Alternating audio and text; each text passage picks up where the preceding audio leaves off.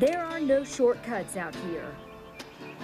Life moves at a different pace.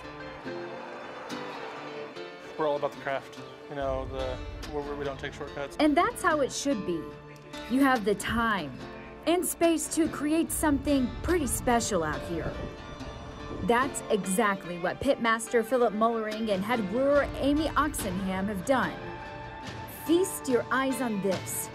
Picture-worthy barbecue and craft beer that'll have you calling home.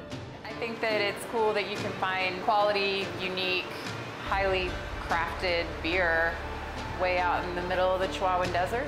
You can find Brick Vault Brewery and Barbecue in Marathon. Population 427. Set up in an old converted gas station. It is the last stop before heading south to Big Bend National Park. And the most remote brewery in the entire country. You know, our nearest brewery neighbors are more than 200 miles away in every direction.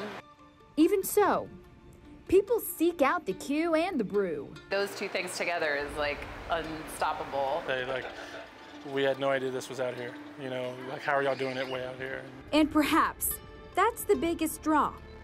Way out here, there's great food, something cold to sip on, in a setting that makes you forget about your troubles. At least for a little while.